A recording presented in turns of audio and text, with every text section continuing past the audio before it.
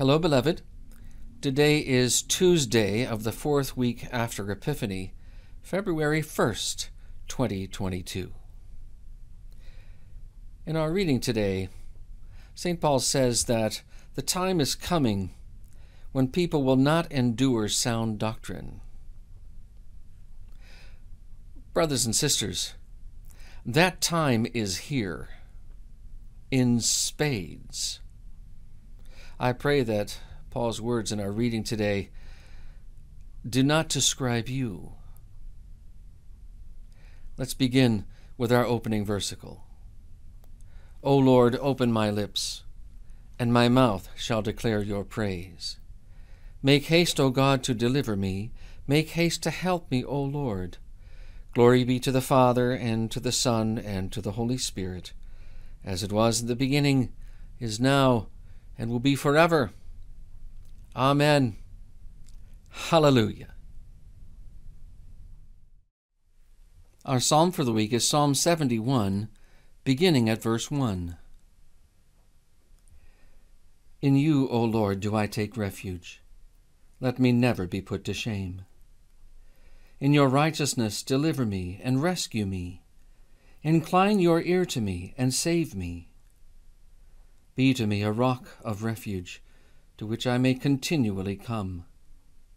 You have given the command to save me, for you are my rock and my fortress.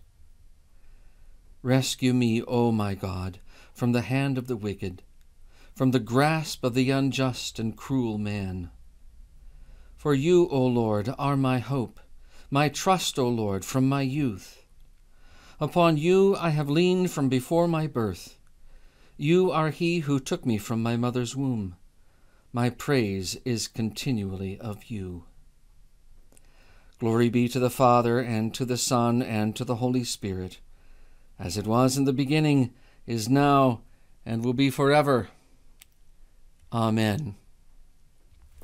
Our hymn for the week is hymn number 842 from Lutheran Service Book, Son of God, Eternal Savior. Son of God, eternal Savior, source of life and truth and grace, Word made flesh, whose birth among us hallows all our human race. You, our head, who throned in glory, for your own will ever plead. Fill us with your love and pity, heal our wrongs and help our need. As you, Lord, have lived for others, so may we for others live. Freely have your gifts been granted, freely may your servants give.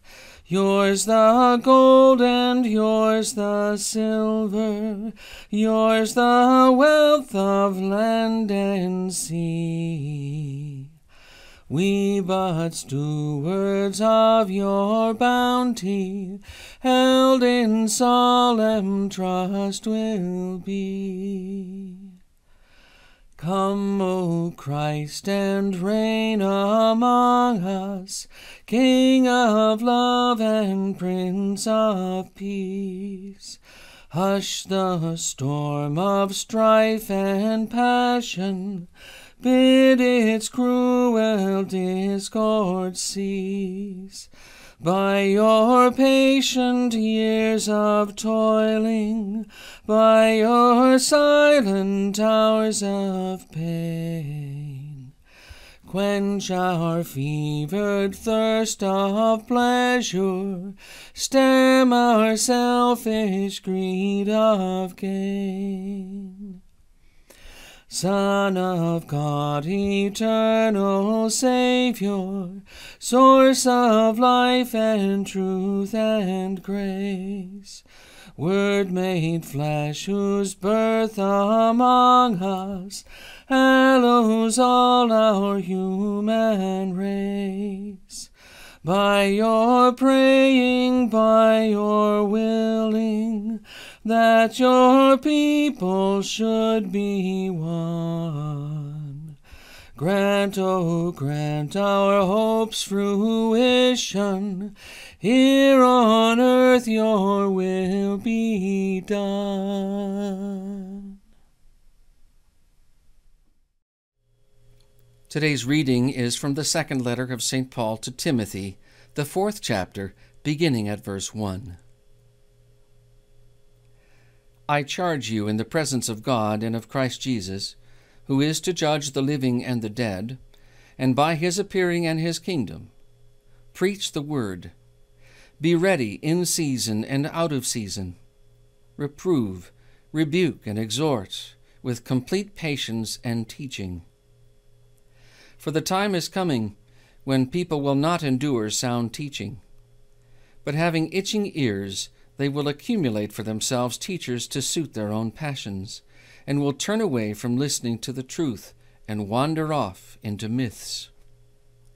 As for you, always be sober minded, endure suffering, do the work of an evangelist, fulfill your ministry for I am already being poured out as a drink offering, and the time of my departure has come. I have fought the good fight. I have finished the race. I have kept the faith. Henceforth there is laid up for me the crown of righteousness, which the Lord, the righteous judge, will award to me on that day, and not only to me, but also to all who have loved his appearing. Do your best to come to me soon. For Demas, in love with this present world, has deserted me and gone to Thessalonica. Crescens has gone to Galatia, Titus to Dalmatia. Luke alone is with me. Get Mark and bring him with you, for he is very useful to me for ministry. Tychicus I have sent to Ephesus. When you come, Bring the cloak that I left with Carpus at Troas, also the books, and above all the parchments. Alexander the coppersmith did me great harm. The Lord will repay him according to his deeds. Beware of him yourself, for he strongly opposed our message. At my first defense, no one came to stand by me, but all deserted me. May it not be charged against them. But the Lord stood by me and strengthened me, so that through me the message might be fully proclaimed, and all the Gentiles might hear it. So I was rescued from the lion's mouth. The Lord will rescue me from every evil deed, and bring me safely into his heavenly kingdom. To him be the glory for ever and ever. Amen. Please join me as we continue with the Apostles' Creed.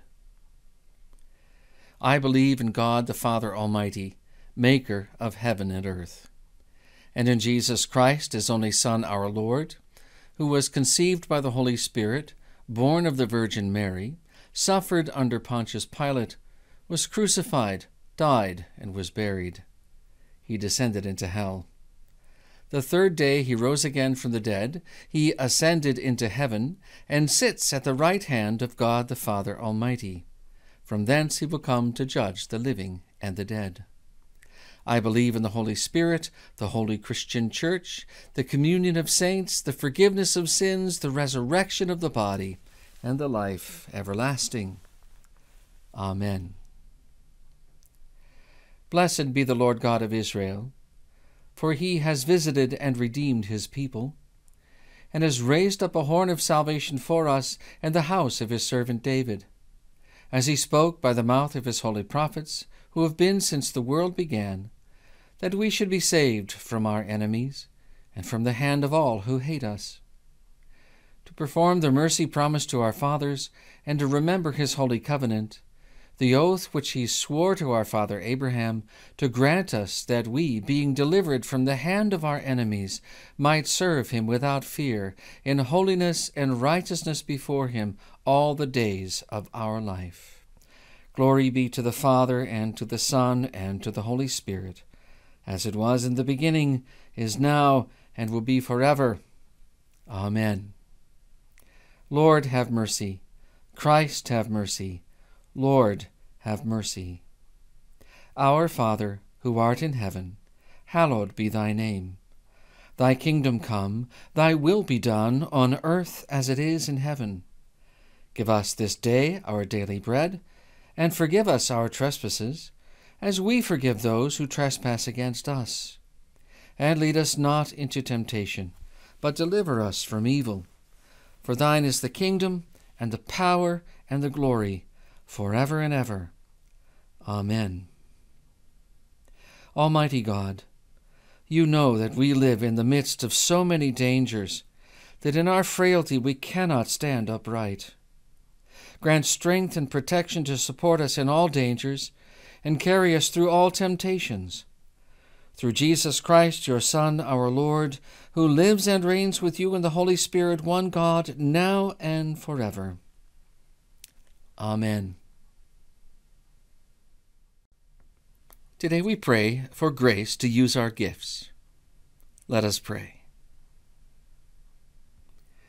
Lord God Almighty, even as you blessed your servants with various and unique gifts of the Holy Spirit, continue to grant us the grace to use them always to your honor and glory. Through Jesus Christ our Lord. Amen. We conclude again today with Luther's morning prayer. Let us pray.